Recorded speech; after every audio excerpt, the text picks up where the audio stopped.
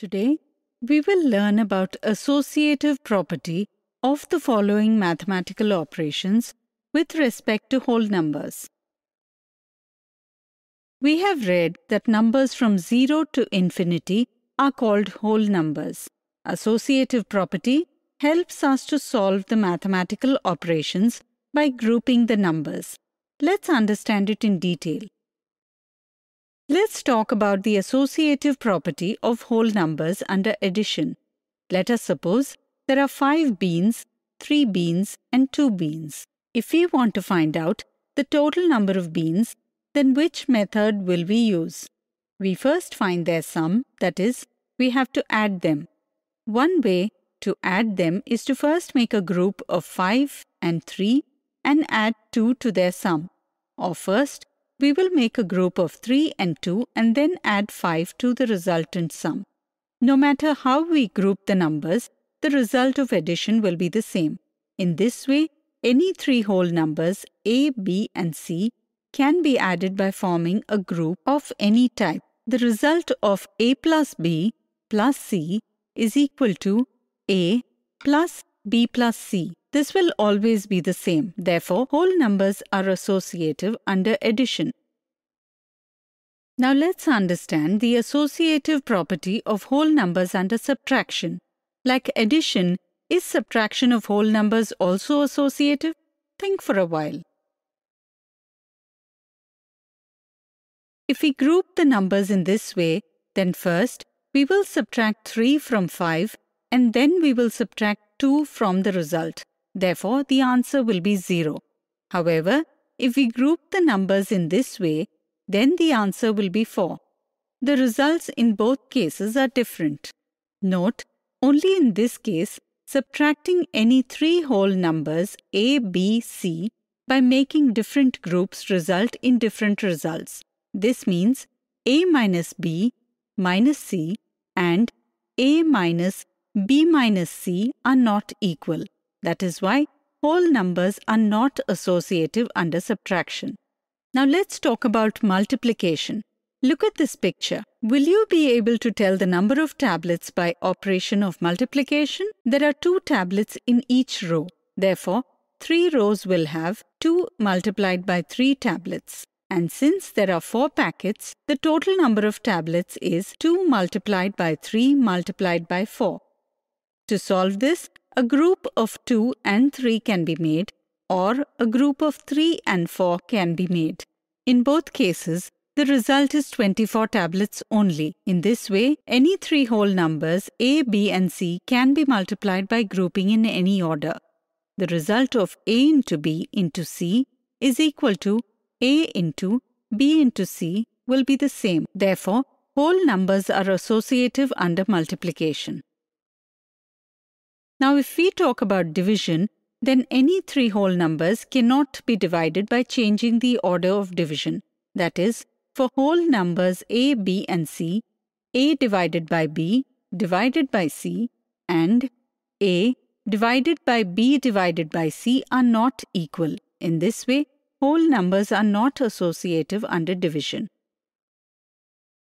Today, we have learnt addition and multiplication of whole numbers are associative, but subtraction and division of whole numbers are not associative. In the next video, we will see some examples related to this topic.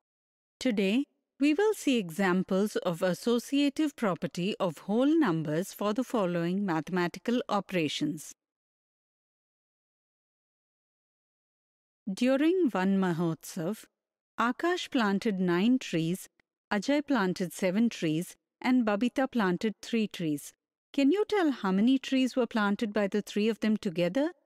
To find the total number of trees planted by Akash, Ajay, and Babita, we need to add 9, 7, and 3. This can be solved by making a group of 9 and 7, the result being 19. Since whole numbers are associative under addition, we can also solve this by making a group of 7 and 3. The result of this will also be 9 plus open brackets 7 plus 3 close brackets which is equal to 19. Can you tell which of the given methods is easier? Think for a while. As you can see here, that compared to 9 plus 7 in brackets plus 3, it is easier to solve 9 plus 7 plus 3 in brackets.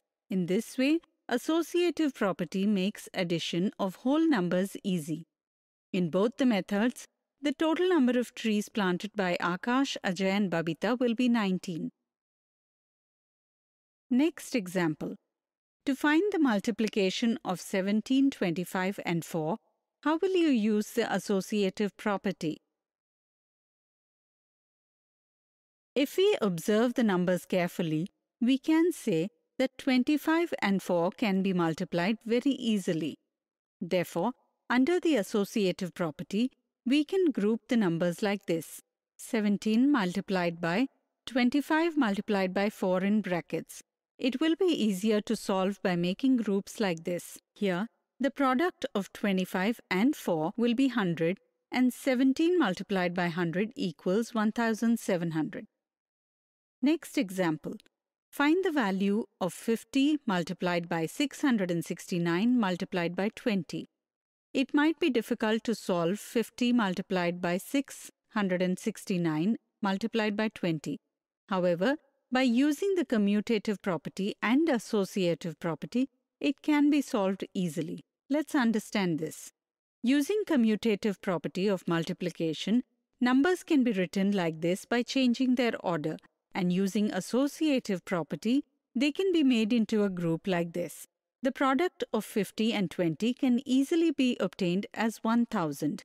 Similarly, the product of 1669 can be easily obtained to be 6,69,000. Today, we have seen examples of associative property of whole numbers for the following mathematical operations. In the next video, we will learn some misconceptions related to associative property of whole numbers. Today, we will see misconceptions related to associative property of whole numbers for the following operations.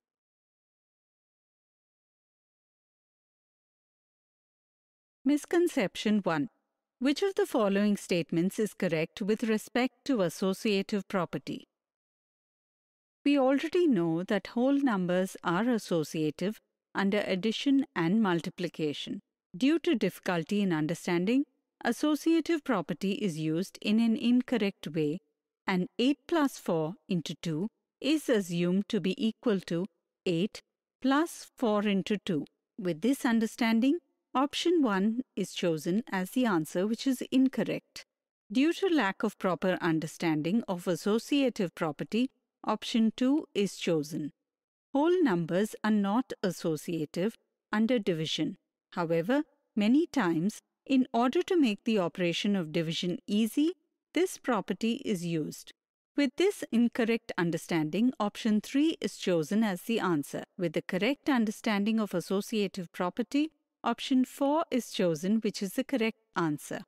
Misconception 2. In a school, there are a total of 9 classrooms and in each classroom there are 25 benches. If two students are seated on each bench, then find the total number of students in the school. Ramesh solved this question as 9 into 25 in brackets into 2 and Gagan solved this question as 9 into 25 into 2 in brackets. Can you tell who obtained the result easily among both of them? In general, associative property is considered meaningless and is neglected. Due to this, multiplication is solved only in the given order. The given example seems difficult to solve like this 9 into 25 in brackets into 2 because first we have to multiply 9 into 25 and then we have to multiply the result 225 with 2. Whether it is the product of 9 into 25 or 225 into 2, both are difficult to find. But this can be solved very easily with the help of associative property of multiplication. This means one can find the product of 25 into 2 very easily. The result obtained will be 50. Then we will multiply 9 and 50 which gives the result 450 that can be easily obtained. Therefore, Gagan must have found the result easily and not Ramesh. Today, We have seen misconceptions related to associative property of whole numbers for the following operations.